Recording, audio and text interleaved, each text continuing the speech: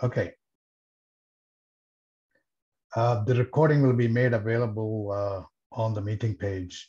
But before I start, I want to welcome um, Hart Montgomery, who's the newly installed, maybe not that new, but newly installed CTO of Hyperledger. Uh, Hart and I go back, uh, way back since the beginning of uh, Hyperledger. So I would like Hart to say a couple of words before he drops off. If he if he wants to, that is. Sure. I'm happy to say hello. Yeah, it's great to see you, Vipin. Um, it uh, yeah, we have been uh, working in Hyperledger since the very beginning. Um, and I'm excited to have the opportunity to uh, continue to move forward um, with you all. So um, I'm mostly here just to listen today. Um, as I said in the chat, I do have to drop early, unfortunately. Um, but I just want to hear all the exciting stuff that you all have to say. So thanks a lot. Wow, exciting for some, but anyway, so the main uh, point that I want to make is if we want to participate in something like the Open CBDC project, then we have to uh, contribute something technical, and Hart is the man to lead us there, um, especially in the cryptography arena. So I'll go I'll go into a little bit of detail on OpenCBDC project when I start my presentation. And of course, people are welcome to interrupt me at any time um, and ask questions or contribute their thoughts to what's going on here. Uh, with CBDC, I'm not talking about world uh, world events in general, but just this particular topic. Um, and um, so I'm going to start a presentation, uh, share my screen and start with that. But uh, you know, looks like uh,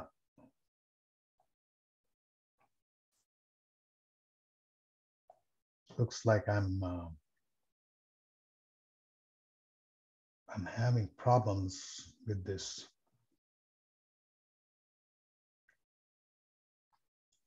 It's very strange.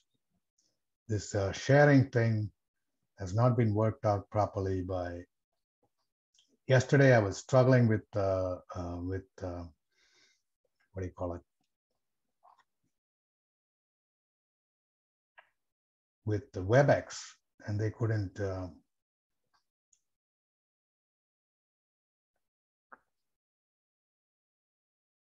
PowerPoint as a virtual background. I think they have changed the uh, UI for this um,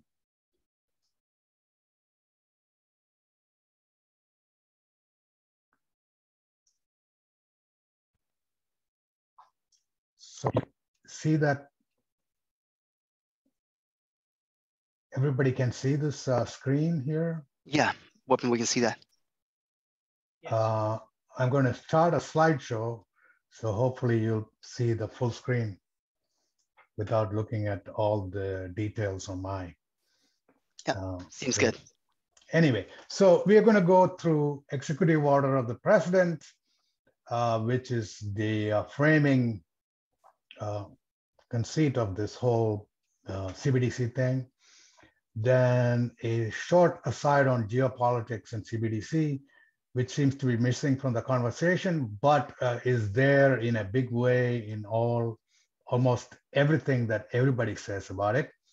Then we go a deep dive, a slightly deep dive into Open CBDC, which is the GitHub project, but it's also based on the Project Hamilton paper that was published by the Fed. And we have our own response to the Fed um, um, from led by Sandy uh, of the 22 questions that we are uh, going to respond to. That was the initial uh, initial ask from the Fed, not directly related to the Open CBDC or the Project Hamilton, because Project Hamilton is only a very small uh, part of the Fed's response. And as the executive order makes it clear, we'll see why. And of course, like I said, you, you are uh, welcome to interrupt me at any time. Um, so the executive order is the first acknowledgement of digital assets by the United States executive.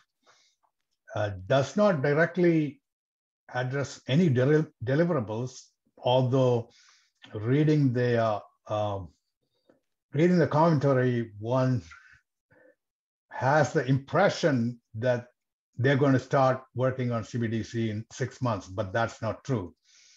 Uh, so the only deliverables they directly address are reports, more reports, of course, white papers, reports. Um, it's widely hailed by the crypto community because they didn't read it. uh, you know, I, I have a feeling they didn't read it, but at least it acknowledges the existence of this huge class of assets. Um, and it's actually proposing ways to address it. So the contents, you know, there's policy objectives, you know, all the all the uh, things that you read read about here. But the fourth uh, bullet, CBDC, is what we'll be focusing on because everything else is sort of, uh, you know, talking about uh, digital assets in general.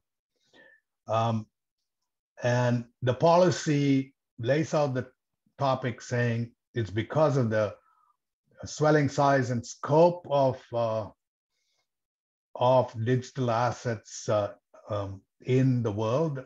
Well, uh, Biden cites um, three trillion dollars in November, but I think it is slightly more diminished today because prices of all the digital assets that he um, talks about. I mean, when he, when he says digital assets there, he's um, only talking about non-state uh, digital assets, not state-backed.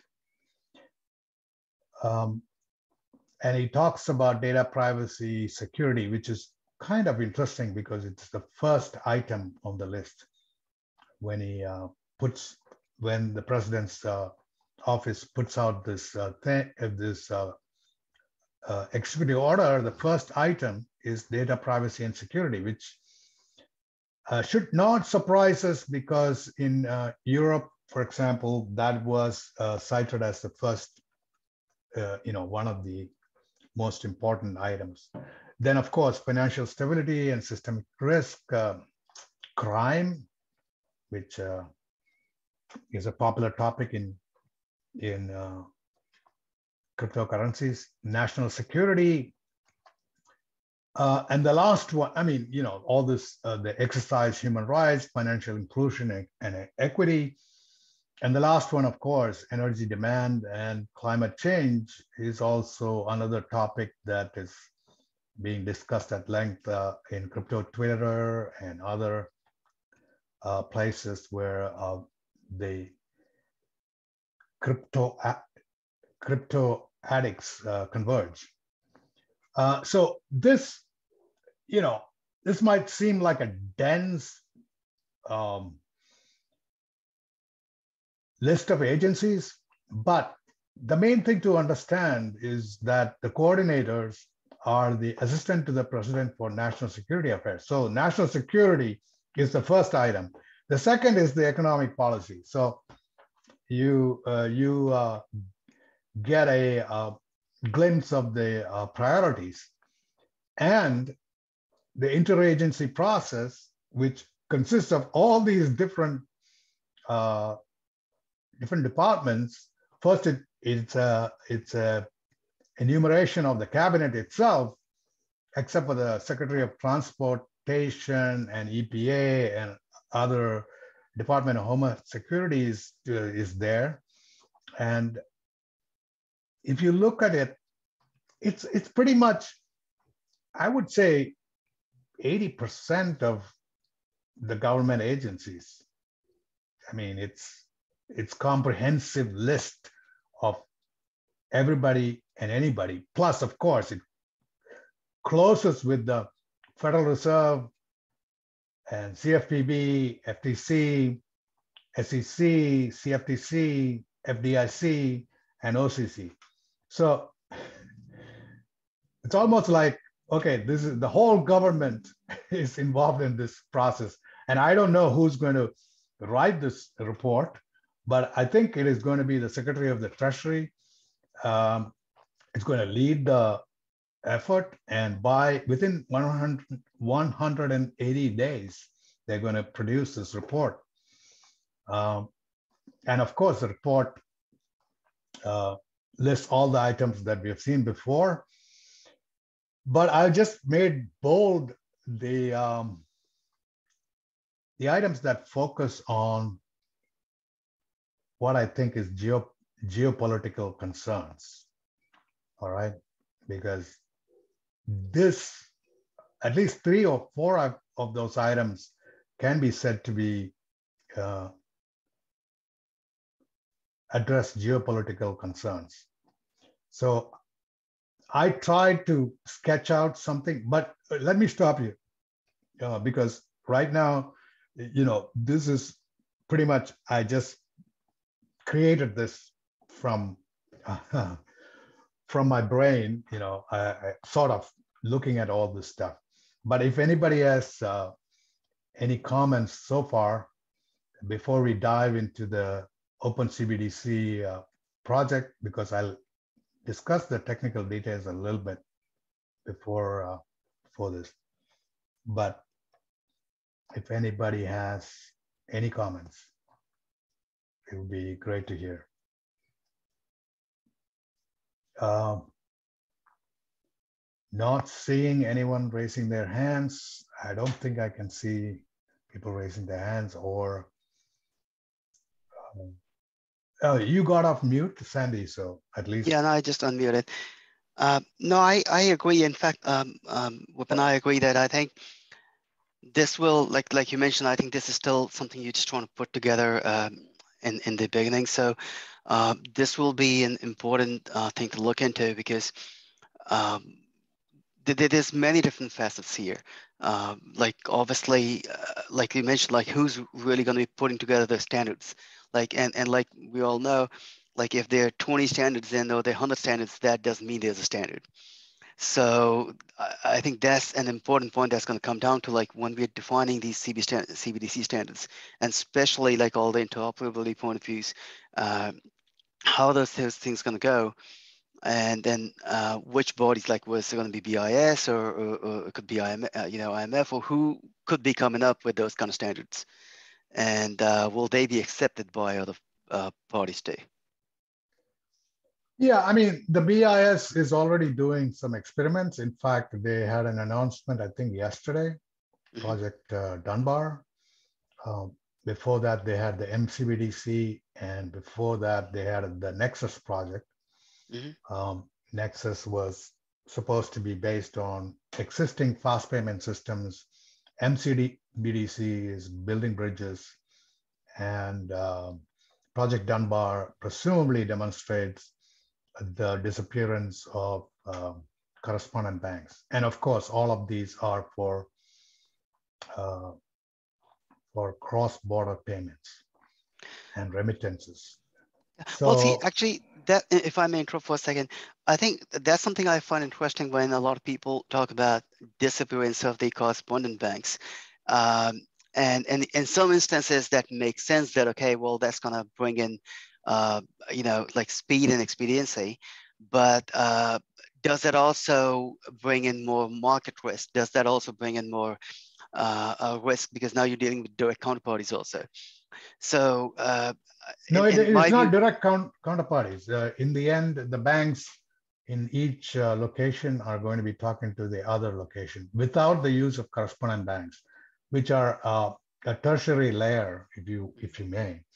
Uh, so the tertiary layer um, is there because of the current setup of um, of uh, exchange. But in the end, uh, you got to have a way to discover a price because cost border implies FX conversion.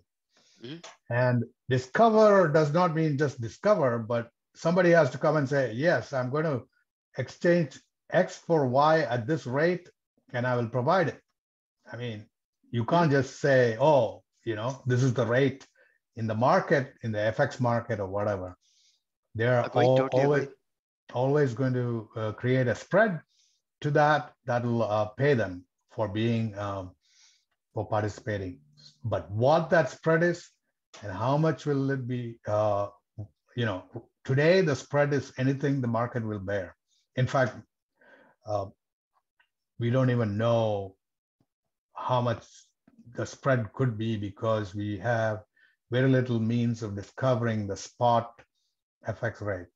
So they, they'll just say, okay, if I send money, uh, dollars to India, uh, I get through uh, Western Union, I get one point, uh, say 70 4.75. I, I'm just throwing out a number. Mm-hmm. mm-hmm. But when I actually go to the spot rate, I see it is actually 76 or 77. And obviously, they are taking two rupees for every uh, dollar uh, that I'm sending. And if I send thousand dollars, that is two thousand rupees. That is, you know, um, quite a bit compared to uh, uh, you know, I don't know how much Hawala guys uh, charge, but, you know, this is all um, assuming that we can do these things. But again, financial sanctions. How can you implement financial sanctions? Because financial sanctions have uh, turned out to be an important component of uh, of the, you know, going to war without going to war. Um, and uh, there's always leakage. Um, so there are certain choices you can do. The prominence of the wallets is what is going to um, control all of this.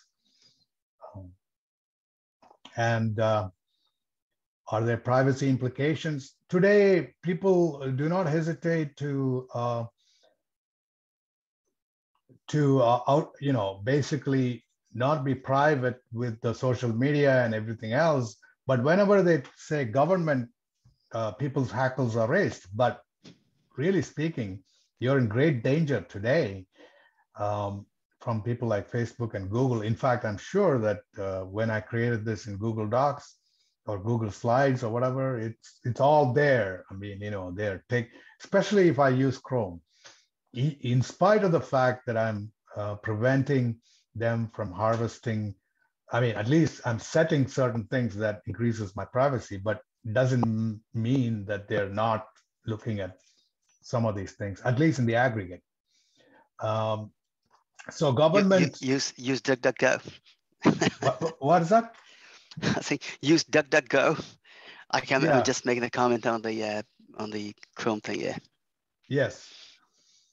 Um, so if you wanted to im- impose financial sanctions using CBDC wallets, how are you going to do it? You have to do it at the edge, somehow uh, send a message to the wallet saying that you cannot transfer.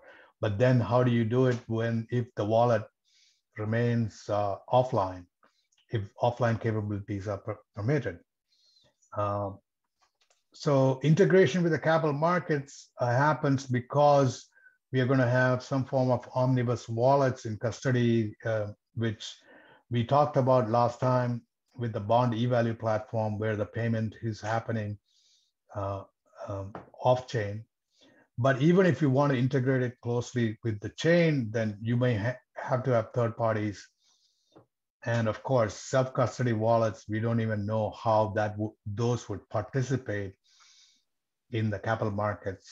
Um, you know, for example, I want to buy bonds. How I how am I going to get uh, uh, my money, my payment done?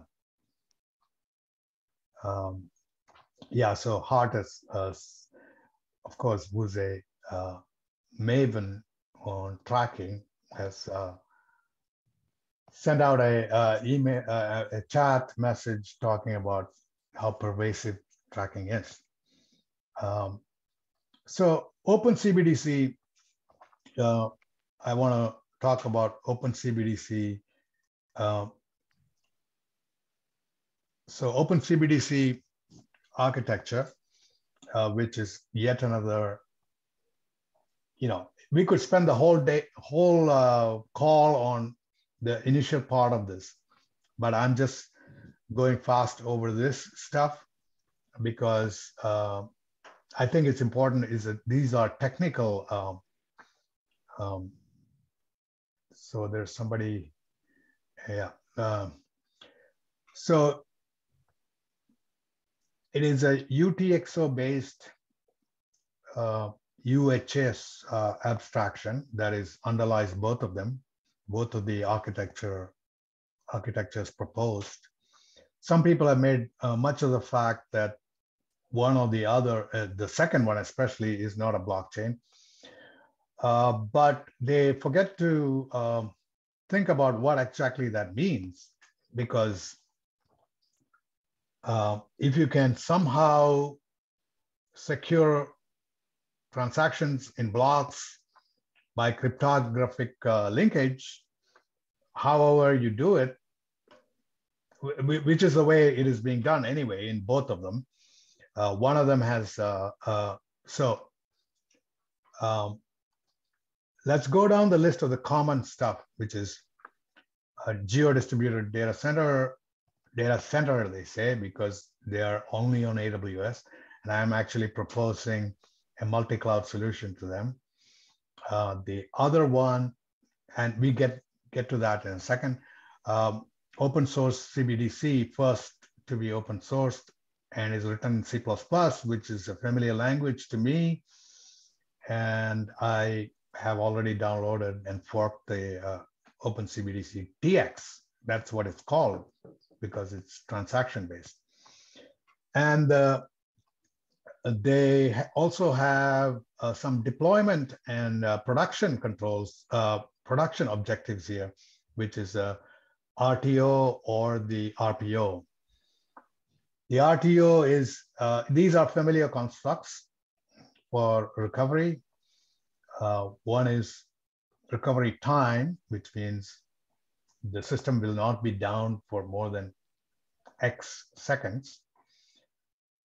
And the recovery point, which is you, here it says recovery point of zero, which means that no transactions will be lost when the system goes down.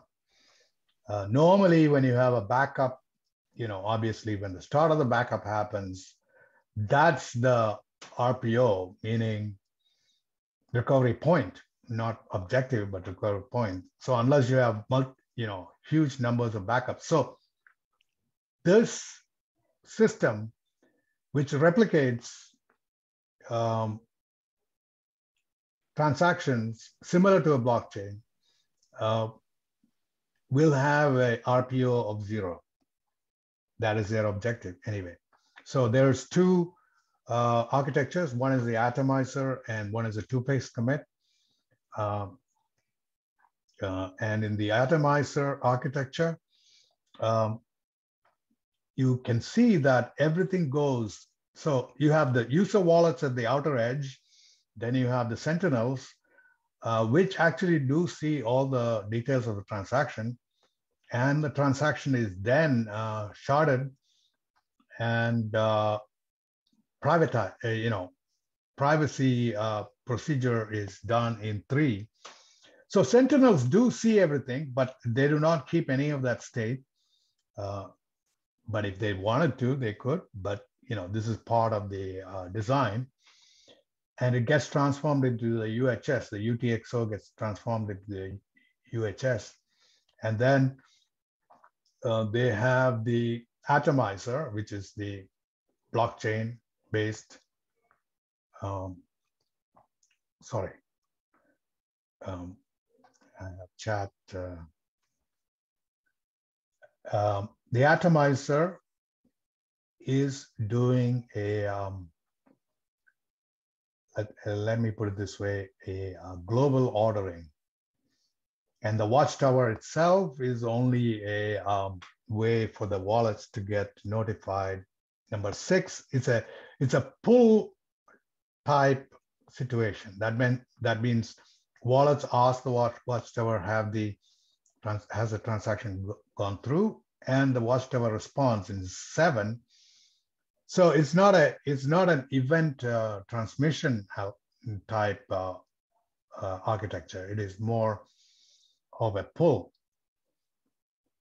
And the archiver, of course, uh, goes into um, archiving the some of the transactions. Um, anyway, I'm not going to go into the details, but note the difference in the second, in the next uh, uh, two-phase commit architecture. It's a relative ordering. It doesn't mean that one transaction um, can override another transaction because these are uh, separated. And the maximum, I, I, didn't mention the maximum throughput demonstrated is 270K in the other architecture, and this is 1.7 million transactions. And geo replicated la latency is less than one second. Uh, and in the other one, it's two seconds. But anyway, these are all monster rates because even if you look at uh, the payment uh, systems in the whole United States, at least, it's only about 100K transactions per second. And if you have 170, you've more than achieved the goal, but you know they're worried about scaling, uh, worried about uh, you know the future the two things that you see here are one is here, this is a horizontal scaling, which means that you add more uh, resources, the system scales. In this case, they claim that the system seems to scale uh, almost infinitely, which is probably not the case, but they are they are saying that that's what's happening. But in the other other case, because there is a uh, there is a bottleneck, it needs uh, some form of vertical scaling. So the difference between vertical and horizontal scaling is vertical scaling, you increase, you fatten a single uh, system, uh, you know, by adding more cores, more, more disk, more uh, uh, computing power, and so on. But in horizontal scaling, you basically take off the shelf software, I mean, uh, off the shelf hardware, and then you start uh, making the system scale that way, which is, of course, meant to be the better way of scaling things. So uh, in this two-phase commit architecture, horizontal scaling is possible. So that's another good point about this. And uh, some people have said, oh, this is not a blockchain because it's sharding. But as you know, Ethereum is uh, going for sharding and proof of stake. So, you know, when you make uh, these kind of binary uh, decisions in your head, you have to think about what exactly does that mean. You, you know, we are not marketing folks. We don't have to talk about this in a very general sense. Anyway, so as you can see, there you know, the atomizer has disappeared and the shards are now horizontally scaled, but there is a uh, transaction coordinator, but it's not just one transaction coordinator, it's transaction coordinators and it's replicated.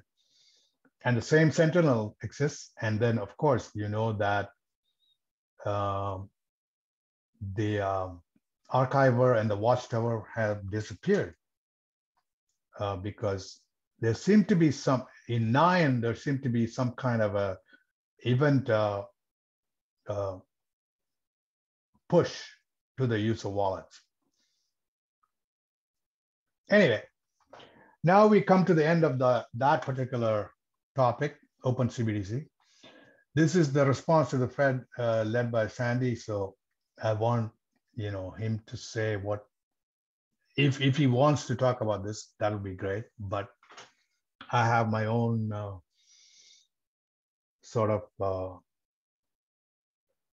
views on the matter, but I've tried to lay it out here in a very succinct slide,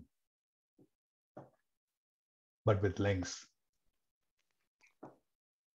Yeah, uh, uh, thank you. Uh, actually, I was just trying to put together, like if, uh, I don't know if you had a chance to look, um, I've put together like a high level timeline on the uh, Yes. CBDC Yes. wiki page. Mhm. And, uh, and, and again, first of all, my apologies. Uh, you know, this, of course, we started this thing almost a month or so ago. Uh, there hasn't really been a lot of, uh, uh, uh, you know, uh, obvious over the surface movement. Um, I've been actually like reading up on this, uh, like some of the points. I haven't been able to compile them together yet.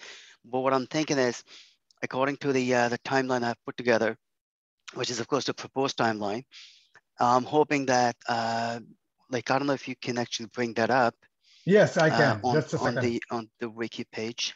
Um, let me stop uh, sharing for a moment. Yeah, no, no. Uh, uh, and then I can bring up the other share. Mhm. Um, let me see here. This is always a, okay, maybe I could have done it. Um, Now that thing has disappeared completely.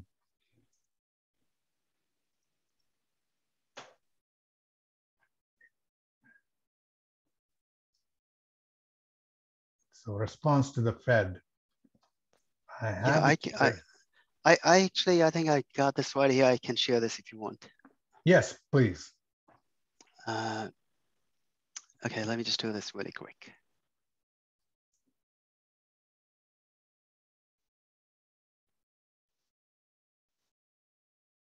Okay, right here. Yeah, there you go. There you go. Okay, uh, there hasn't really been, I mean, um, there hasn't really been uh, like a lot of work here yet, but I just put this timeline here. So um, everybody can just take a look at this. And I'm thinking we can finalize the list of questions uh, that we want to respond to. So like, as we know, there are 22 questions in all, and uh, we haven't really put in these separate wiki pages for each one of them yet, but uh, we can take a look, look at those 22 questions and then see whoever wants to respond on which one anybody can pick anything they like to and uh, uh, compile their notes. And but if you just look at the timeline here, I'm thinking we should try to complete the research on the selected questions by 15th. Then we can have uh, some back and forth here, like draft and compile this together here, and have the peer review completed by end of April, and and basically finalize a research paper by the 6th and submit it by the 13th. Now, obviously, like you've said, uh, obviously if people are free to uh, publish their own responses. This is purely just that if you want to have a combined uh, uh, brainstorming session on, on the response. And, uh, but because we have to submit responses, um, I think one question at a time, so it doesn't need to be a one single compiled paper, but I think it might be helpful to have a one single compiled, either like a Google Doc, something. So when we are reviewing it together, uh, it might actually uh, make it easier to review the whole thing together. Right. And then I actually just added a couple of links down here yesterday. I Yeah, I. I actually quote, quoted in the, in my. uh, Yeah, yeah, slides. actually, I saw that. Thank you very much. And and again, I mean, obviously, this is just a starting point. But again, uh, like for example, in the Stellar paper here, uh, especially their uh, the the policy guide paper here, they do talk about like if you have to use uh, Stellar as the blockchain. Of course, that's their viewpoint. Obviously, being that this more of their marketing thing too. So, but it does contain a bunch of important things in there as uh, like if I just bring this up here, uh, like if we had to use Stellar, what are the pros and cons of uh, using like they, they just go down in here. And let me just see if I can bring this down here. Um, sorry. It's still loading. All right, like right here. So they do talk about the comparison of centralized and closed and open decentralized systems in various degrees of decentralization and whether or not it makes sense to use uh, blockchain or, or, or use a quasi blockchain. So just, just as a reference point here. Uh, obviously, this is Stellar's, uh, uh, you know uh, thing here. And in fact, I was looking at the the TPS that you were talking about, uh, obviously, which comes from Project Hamilton. Like Stellar is talking about five to ten. Uh, obviously, if you have to use OpenCBDC, uh, uh, CBDC, that's just like obviously way larger than that. Uh, even if you don't really go with their 1.7 million, but even if it's in a few hundred thousand, that's still much much higher than this. So. Yeah, but the point to be noted is um, they still have a lot of important uh, important uh, parts to solve. Uh, they are uh, less than a toy at this point, you know, uh, and uh, of course you can demonstrate huge throughput when you're like when you're not not actually dealing with a lot of things. Um, they focus on privacy because uh, the guys in uh, Project Hamilton are Bitcoiners, uh, and uh, you know, especially uh, James Lovejoy is a Bitcoin core developer. So, what I'm saying is, if you if you get a bunch of guys who are Bitcoiners to de- to develop this, you will get a system that looks very much like Bitcoin. you know, if you get a bunch of guys who are from Stellar, they you get a system that looks very much like Stellar uh, or at least uh, similar. So this is the kind of openness that is lacking there. I mean, it, it's almost like, okay, you choose these guys, you're going to get this. So uh, of course, it's very difficult to do a collaborative or a team-based approach. But the only thing we can do is to nudge that solution that they have proposed towards something that is practicable, right? I mean, you can't just say, oh, I can't see anything, uh, but uh, uh, everything is on the wallet side. And they don't even have a wallet. I mean, not a not a good wallet. Everything is uh, done using a uh, command line interface. But as you know, going from a command line interface into to a to a really secure wallet is a tough job. Um, well, actually, talking about the wallets, I think another important thing that comes up is that if there was supposed to be a wallet like, uh, you know, like take the example of this ConsenSys thing uh, with Infura, uh, you know, the MetaMask wallets, for example, then that brings an important question that if those wallets are going in through some central APIs, like, you know, like Infura APIs, which can then be controlled by the government, then you have a much, much higher degree of, uh, of government control. And, uh, and, and where, you know, they can, or, or, somebody can basically turn off the wallets as, as, you know, like whoever has the, the command over there. So those things obviously come in. Of course, I, I definitely submit to the point you make that a lot of people are completely open on Facebook and the other channels, but they they you know kind of quiver when it talks uh, when it comes to the government oversight, or the government uh, uh, uh, uh, basically looking into any data. So so there has to be some sort of a balance over there, but. Uh, but I think like even the wallets, like you know, in terms of the the self custody wallet, so the like, like exactly how that's going to happen, there's, there's a lot of open questions over there. Um, I think some of the open questions come in when people talk about uh, and this is some this this is obviously one of the 22 questions also out there.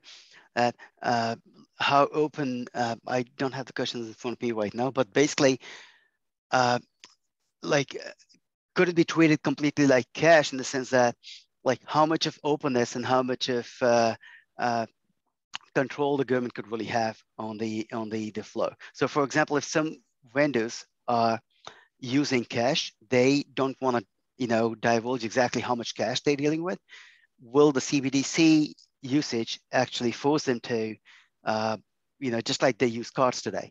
Will, will that force them to basically uh, get on the tracker? Well, there are two important differences, right? Cash already supposed to have some uh, regulations around it, like cross-border 10,000 more, you're mm-hmm. supposed to declare it. And uh, you know, most of the time the cash is used to evade taxes or something like that, uh, but also for uh, doing other things like which are not uh, not permitted. So it is mostly to evade all that stuff. Another thing about cash, which nobody uh, brings up, but I did I did write about it earlier, which is the physical actual weight of cash. Like a um, $1 million you can carry in a briefcase, okay? But $1 trillion you need, uh, you need trucks, uh, maybe even 10 or 20 trucks. I had actually calculated the weight of a hundred dollar bill, you know, the, that's the largest bill you can get. And how do you, uh, uh, how do you then, but if it's a digital wallet, $1 trillion can be held in an edge wallet with no problem. You know, it's not like uh, uh, carrying, you know, 100 trucks filled with cash uh, for $1 trillion.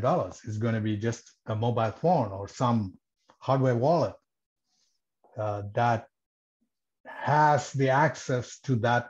I mean, obviously the uh, cash itself is probably somewhere else, but it's a number. It's not anything else. Um, so these considerations of physicality uh, become very uh, interesting because once you let go of that, that physicality, that means people can transact and evade uh, controls uh, if it's true privacy, right? You cannot cannot stop people from uh, uh, from taking one trillion dollars from one place to another if you do not have some kind of a surveillance or anything. I mean, not just one trillion, you know, any amount for that matter. But uh, wallets, uh, which which the Chinese are building, for example, have tiers. Um, less than $1,000 uh, is uh, considered, you know, without identification. Um, more than $1,000, 1,000 to, to, you know, 3,000 is one tier. So you have to go through KYC. Uh, anyway, so wallet design is a very important uh, aspect of things. Um, so uh, no, no, no. Go ahead. I'm sorry. I was just trying to bring us to the list of questions, but but I think yeah, I think yeah, that's yeah. it from my side. Uh, open today. Uh, so so I think in a nutshell, what I'm really thinking of doing is, uh, um, this is a timeline that I proposed here, and I'm going to start picking up some of the questions here, and and just start putting some uh, uh answers.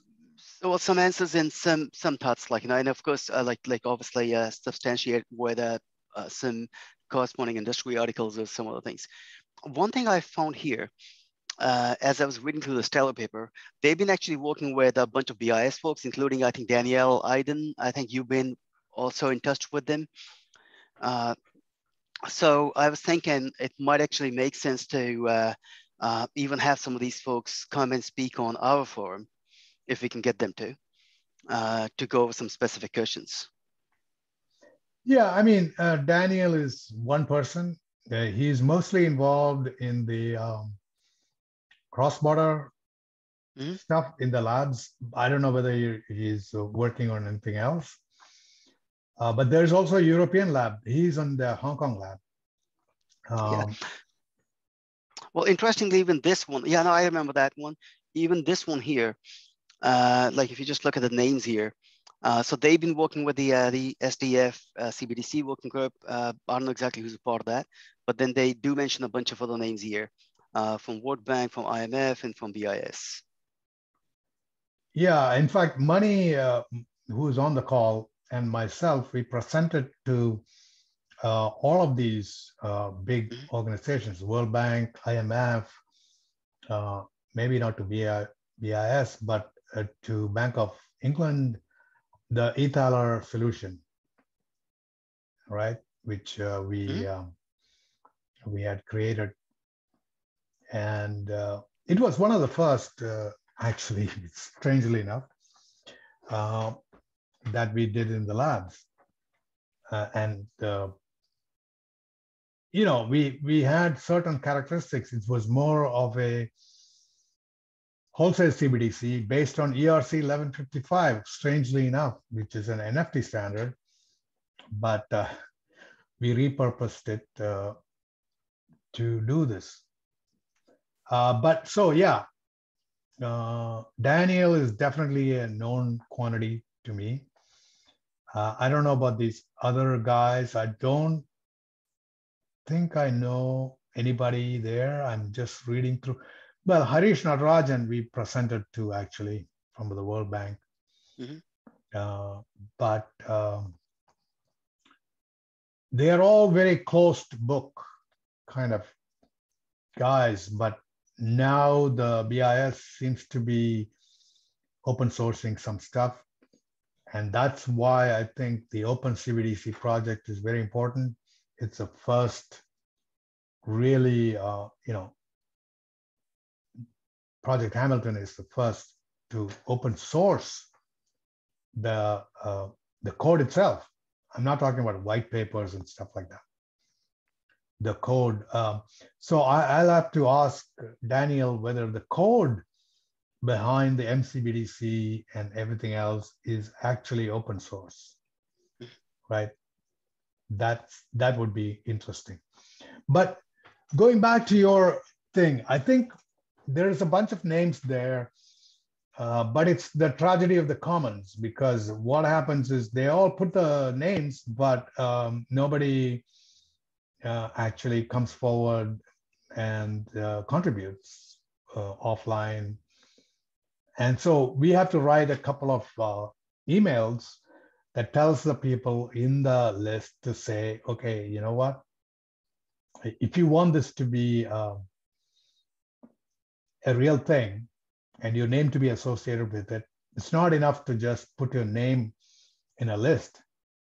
What are you actually bringing to the table? I- I'm sorry to act like this, but this is uh, uh, what I found that people uh, do not uh, contribute. Maybe there's something we are missing. I don't know. Uh, but I think this is a feature of feature slash bug of all open source. Um, I agree. 80 to 90% of the work is done by uh, like 5% or, or less of people. But uh, when it comes to putting the name on the paper, yes, everybody wants the name there. Um, Yeah. This is, uh, you know, even in this group, it's the same thing. It takes a lot of effort to get people to make a presentation or so. I don't know how we're going to get this task force uh, started. Uh, with with respect to that aspect, uh, we have to do something about it. I Uh, um, let me let me catch you offline on that, uh, Vipin. I I'm in touch with uh, Dr. Manmohan Singh. He's from IMF, and um, but because internally they have to kind of go through protocols to have any speaking session, uh, so I might need your help to get him to uh, come to the table for that. Um, so he seemed to be willing, but uh, like you said, I mean, it's always the the you know the uh, bureaucratic part of things which kind of weigh them down too. Yes, of course. Um, so this is uh, obviously not the Manmohan Singh, but the guy who's uh, is is he IMF or is he BIS? No, IMF. And I Oh, think okay. he's ba- yeah, yeah. And I think he's based in uh, either Toronto or something. I, I'll check. I'll I'll share the details with you. Yeah, yeah, he has written some interesting papers that I've read. Yeah. Uh, but uh, you know, I was confused. Oh, Manmohan Singh. uh, No, he's not the also- economy. Yeah, yeah. he's also an economist, but Yeah, yeah. but it's That's not. what I initially thought. Yeah. yeah so it's a, it's a different manmohan singh Yeah. Um yeah so that's that's great. So let us actually put some uh, words to paper. And about the last uh, bit that you mentioned which is the um, house of lords. Mhm. a cbdc a solution looking for a problem right? Mhm. even that heading is plagiarized from Governor Waller, who did the uh, who did a similar talk back in, in July, uh, July or something. Yeah, August. July, August. Yeah, yeah. Yeah, and I wrote a response to that, very detailed, very I remember that. very detailed response Yeah. uh, about financial inclusion, about you know these are all uh, political uh, sort of things that happen because they always want to trumpet financial inclusion. Financial inclusion measurement is a tough thing, right? The FDIC comes up with a financial inclusion. Um, so uh, it's if you go to uh, if you search for Waller, you'll see the response. Yeah, yeah. No, I'll I'll, I'll do that. And Unfortunately, I I do have a hard stop at ten today. So, but I, I I've read that paper, uh, Vipin. I know I know what you're talking about. Yeah. Yeah, yeah. So, Yeah. um, so just because the House of Lords published it uh, doesn't give it, uh, you know, in my mind anyway, any validity except for the fact that it's a political uh, stance, the same as uh, Waller's stance. Um, um, you know, it's it's all about private money. Basically, uh, they keep uh, bringing the point back that private money is the solution. But they don't realize that current uh, money in the US anyway is generated in a decentralized way, which means that every bank ha- which has the capability is actually issuing uh, issuing dollars because once you make a once they make a loan, which is nothing but an entry in a ledger, they can create money. Nobody, you know, everybody talks about the Fed printing money, but it is not the Fed. Most of the money is printed by commercial banks, at least before the pandemic. Um, anyway, so this is, uh, you know, people are leave, have already left. Uh, most of the people, participants have left, except for Suma. Suma, you want to say anything about all this uh, stuff? Or are you not wanting to talk? We have two minutes left before the before the um, call is over. I think we can safely say that we've covered a lot of ground. That thing, that presentation I knocked together, uh, but it's, you know, talks about the executive order, the uh, geopolitical im- implications, Open CBDC project, and then our own response to the Fed. So with that, I think uh, we stop here. Uh, thanks for showing up, Sandy. Uh, you're welcome, Vipin. Thank you. and- I think you've and- been. Uh, I agree. I think uh, we, we need to divvy up work so we can get some real uh, meat in there. I totally agree. Yeah, maybe the thing is to start start it off so that Mhm. may, maybe in even in a provocative way so that people respond. Yeah. Instead of Yeah. uh, you know. Yeah. All right. Yeah, no, I'll, I'll start putting some uh, some of these answers together uh, to some of these questions, and then we can keep chiming in, and uh, let's let's take it from there. So yeah, hopefully we'll stick to this timeline that we have here, and uh, get this going. Yes. Thank you. Yeah. Thanks everybody. Uh, well, the only other person here is Suma. Uh, so thank you, and we'll uh, speak uh, later. Yep, thank you, Vipin. Thanks for spearheading spearheading this. All right.